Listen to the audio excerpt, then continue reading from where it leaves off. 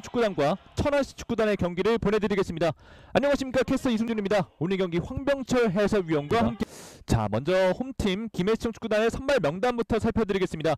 정진우 골키퍼, 강영훈, 김민규, 박성우, 유지훈, 우해찬, 주한성, 김창대, 김민준, 배천석, 서정진 선수가 나오겠습니다. 자 김해시청 축구단에서는 일단 정진우 골키퍼도 오늘 경기 첫 출전을 하게 됩니다. 이에 맞서는 원정팀 천안시 축구단입니다. 재종현 골키퍼, 한부성, 이용혁, 심동희, 가만솔, 김종석, 정준하, 이민수, 조재철, 윤영호, 이해찬 선수가 나오겠습니다. 최근 엄청난 상승세를 타고 있는 천안입니다. 이 천안은 기존에 본인들이 잘하는 라인업 그대로 들고 나왔거든요. 네. 하던 대로만 한다면 오늘 천안시 쉽지 않은 정말 무서운 팀일 겁니다. 오늘도. 그리고 최근 경기에서 김종, 김영관 부심, 하연섭, 백이심입니다. 자, 양 팀의 전반전 출발했습니다. 화면 왼쪽이 김해시청, 오른쪽이 축구, 오른쪽 뚫어봅니다. 자 이해찬, 이해찬이에요. 올립니다. 이해찬.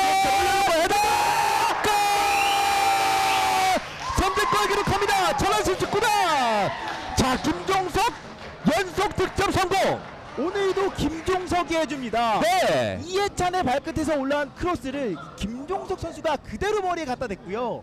골문을 거의 찢어버리는 강한 헤더 슈팅이 나왔어요. 자 김종석 두 경기 연속골에 성공합니다.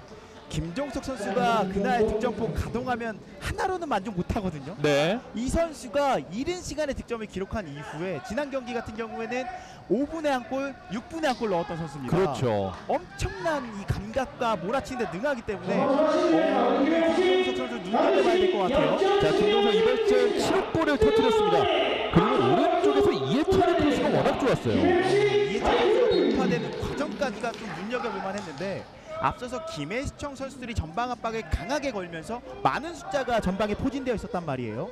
근데 천안시가 최근 분위기가 좋다는 것이 그 전방 압박을 너무 쉽게 풀어나왔고 많은 숫자가 전방에 투입되다 보니까 후방에서는 3대 2 싸움이 펼쳐졌습니다. 네. 그러면 이해찬 같은 자원은 정말 개인기가 좋거든요. 스피드도 좋고요. 지금 완전히 수비 제끼고 보고 올려줬어요. 자 지금 정진우 골키퍼와 수비 사이로 올라오는 크로스였기 때문에 막기가 정말 어려웠습니다. 이거는 공격진이 100점짜리 크로스를 올렸고요. 네. 100점짜리 헤더를 했기 때문에 어, 이거는 못- 못 막죠. 이해찬 살짝 빼줬고요. 자, 이해찬 박사쪽 자, 접어놓고 있어요 아직. 자, 슈팅까지. 자 굉장히 좋은 기회를 맞았었다는 내 자리인데. 이게 어떻게 보면 긍정적인 효과입니다. 그렇죠. 붙여. 정진욱이 잡. 천안에서 보여준 축구는 사실 좀 아쉬웠거든요. 자 지금도 자, 수비 지역에서 지금도. 뺐습니다. 아크 정면에서 살짝 빼줬고 공간이 있어요. 오른발 슛 잡아냈습니다. 정진욱. 좀잘 방해했어요. 자 좋은 패스 들어갔습니다. 터치가 있었는데요. 슛 옆금을. 이양 팀의 공격 템포 정말 빠릅니다. 자 오늘 루안이 없는 김혜정의 어, 최전 흘렸어요. 완벽하게 열려 있습니다. 자, 공간 많은데요. 가라솔! 돌려놓고 야! 뜹니다. 김종석. 김종 자 수비가 걷어낸 공이 멀리 가지 않았습니다. 자 부심의 기가 올라갔습니다. 네. 지금은 정진욱의 슈퍼 세이브. 지금 정진욱 선수의 기가 막 전진 패스 들어갔습니다. 좋은 패스예요. 들어갔어요. 일대 세 번째 골을 터뜨립니다. 오늘 경기 멀티골 김종석. 김종석 선수 한 골로 만족 못하는데 아까도 아까도 계속 만족 못하는 모습 눈에 띄었는데 역시 오늘도 멀티골. 자 이렇게 김종석 선수의 멀티골을 마지막으로 전반전이 종료가 됐습니다. 스코어 3대 0이고요. 자 지금 보시죠. 김종석 침투 침착한 마무리. 지금도 옆에 수비수와 경합이 붙었는데요. 전혀 밀리지 않고요. 밸런스 유지하면서 왼발로 골키퍼 보고 찔러 넣는 것까지 여유가 있어요. 전반전에 굉장히 빡빡한 일정 속에서도 어느 정도 이 분위기를 계속 유지할 수 있지 않을까 생각을 해봅니다. 앞으로 이제 김해, 목포, 대전, 김포를 만나는 이 상위권 팀들을 계속해서 만나는 속된 말로 정말 미친 일정을 기다리고 있거든요. 네. 이 경기를 기다리는 팬들 입장에서 좋아서 미칠 것 같고요.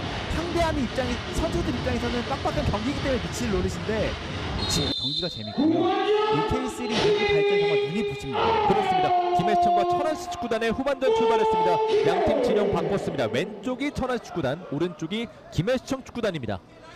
자, 김해시청 강영훈이 수비의 중심을 지켜주고 있습니다. 코너킥 헤더! 떨어진 공 다시 올려줬습니다. 굴절됐습니다.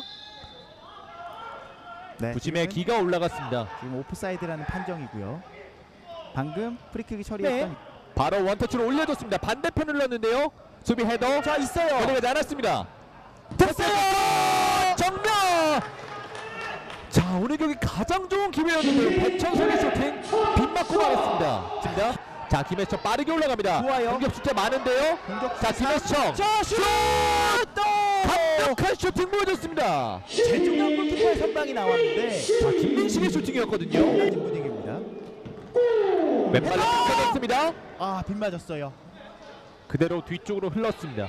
배천석의 헤더 아무래도 이 높이가 있는 자원들이 전방에 올라가는데요.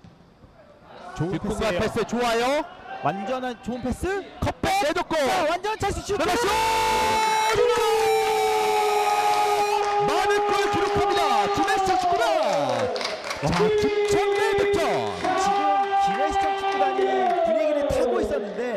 다시 한번 후방에서 한 방에 찔러주는 전진 패스가 좋았고요.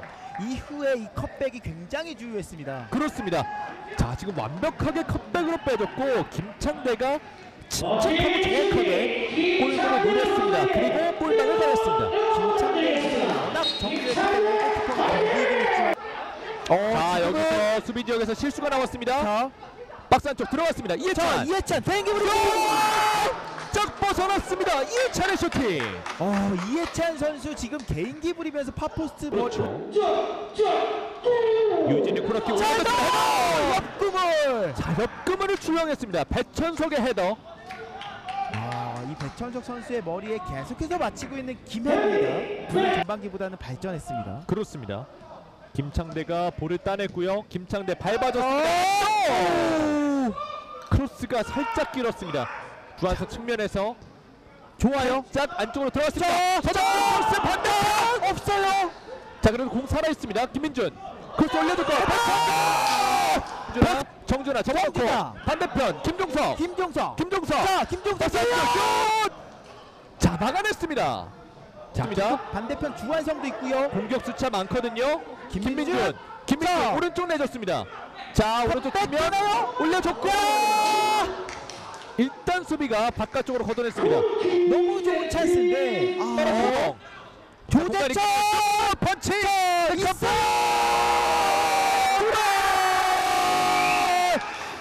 이야, 김종석 선수를 보이거든요. 자 김종석 오늘 경기 해트트릭을 기록합니다. 김종석 선수 결국은 오늘 경기 10분이 가장 중요하다 말씀드렸었는데 네. 김해가 만회골을 기록하는 것이 아니라 천안이 한 골 더 달아납니다. 자 지금 정진욱의 펀칭이 있었는데요. 이 펀칭 흐른 공이 김종석에게 흘렀고요. 자 지금 보시죠. 사실은 이 조재철 선수의 슈팅이 워낙 강력했기 때문에 재차 동작을 가져가는 것 자체가 사실 굉장히 힘들었거든요.